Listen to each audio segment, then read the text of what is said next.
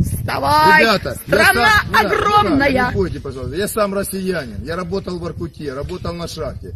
Получал хорошие деньги. Я приехал сюда, потому что у меня здесь, в городе Первомайске, находилась жена, ну я вывез ее, у меня два месяца дочки и шесть лет сыну. Я вывез их, правда, в Россию.